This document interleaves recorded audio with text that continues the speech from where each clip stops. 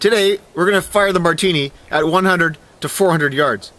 Now, I haven't shot the Martini anything past 100, so I'm definitely interested to see the results. I'm anticipating have to overset the sights, just based on a previous experience, albeit with other rifles. So we'll see. Weather permitting, the results should be okay. For this shoot, I used two types of targets. For the 100 yard confirmatory zero, I used my zeroing target gridded with 1 inch squares. For ranges 2 to 4, I used my steel plate 20 inch by 40 inch gong. Standard with any serious range practice, the bore must first be dried of all oil. Subsequent to that, the blackening of the foresight barleycorn and the rear sight notch are always good to ensure that you've got a nice crisp black sight picture. Now this may seem a little gratuitous, but I try to ensure that all my equipment serves some purpose for my shooting activities. In this case, on the P71 equipment, to replace the mess tin, I have my aiming rest, and to replace the greatcoat, my shooting mat. The removal of these items is simple and quick. Now the aiming rest takes some assembly to get it fully functional. First it gets removed from its oilskin cover. Then the legs are removed from its individual pouch. With the included Allen key, the bolts get removed from the bottom of the aiming rest and inserted, fixing the legs in place. The whole is very secure and is padded on top with an oilskin cover. The shooting mat is constructed so that it can be folded up, making it the approximate dimension of a rolled greatcoat or blanket. Once assembled in position, all that has to happen is to get comfy and shoot.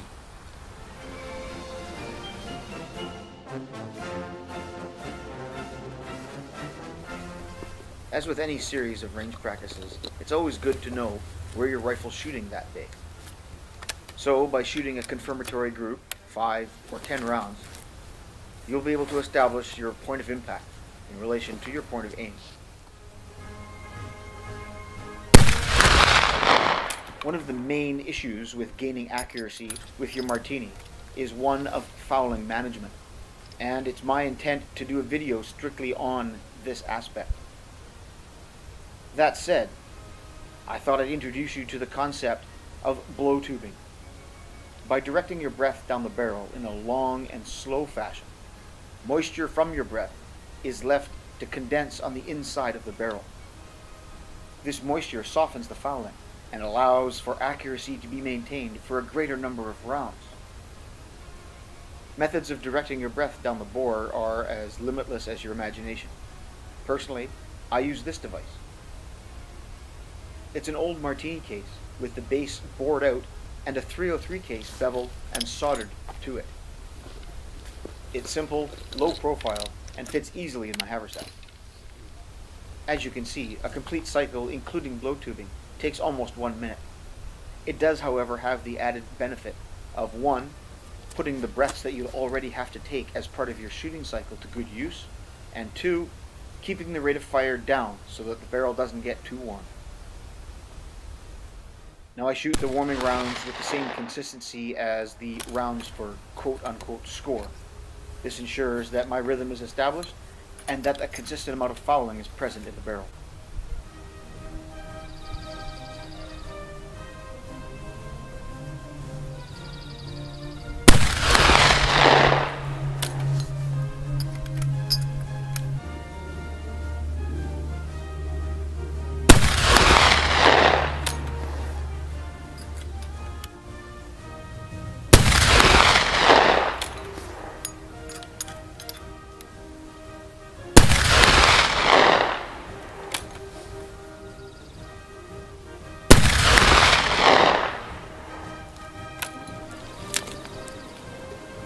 So I'm reasonably happy with those results. Five rounds, uh, typically shooting a little bit high, but generally in the center, right here.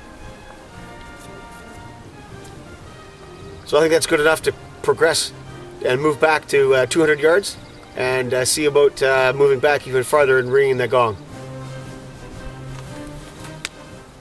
Swabbing the bowl of a martini after every round isn't really an option. Due to the nature of the falling block, there is no straight shot through the bore. Any cleaning rod must be inserted through the muzzle, and this definitely interferes with one's rhythm.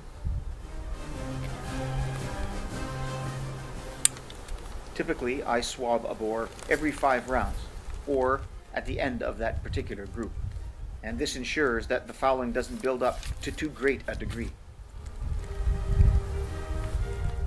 The process doesn't take very long, and one damp patch followed by a couple of run-throughs with a dry one is usually sufficient.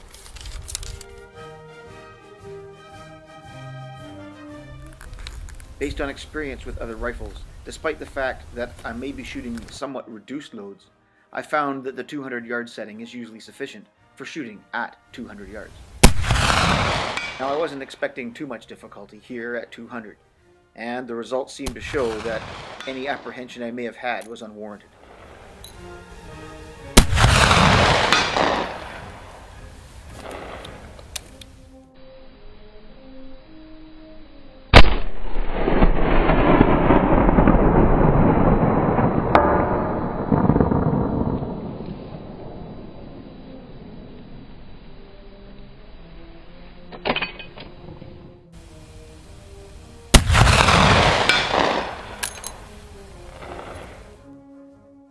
based on experience with other rifles.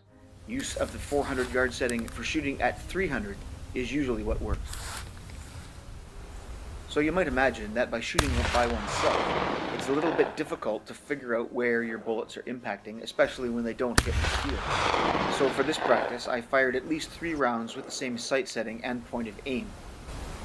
By this point in the group, it was obvious that I wasn't hitting the target. So I changed the point of aim to the center of the target and it appeared as though that adjustment was correct.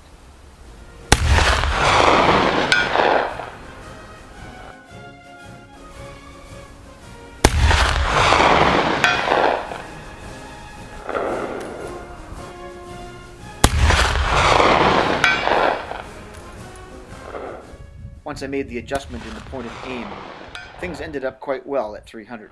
Now, off to the 4. Before shooting could begin, an adjustment to the sights would be necessary. I flipped up the ladder and set the sight for 500 yards. Like I did at the 300 yard mark, I decided to shoot a series of rounds with the same sight setting and point of aim just to establish some consistency, even if it was consistency in missing. Because of the great range, I did use a video camera, zoomed in, to review each shot. This process is very lengthy and takes a considerable amount of patience. It does, however, have a hidden benefit in that it keeps your rate of fire down, and as a result, the barrel doesn't heat up quite so much.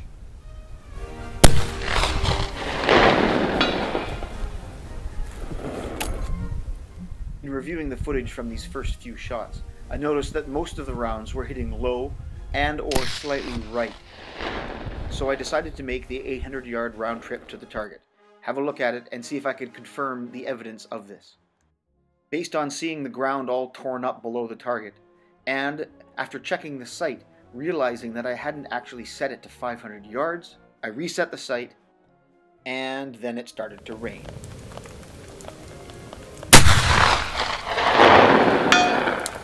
I changed my point of aim to the lower left corner, and this seemed to place the rounds hitting in the top portion of the target.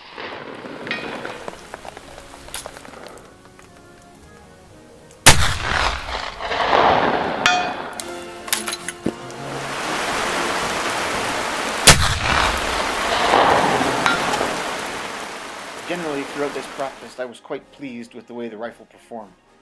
Notwithstanding the difficulties I had at the 400 yard mark, things ended up quite well, and I'm now confident of taking on other challenges, such as a scaled annual musketry qualification circa 1885, perhaps the subject of another video.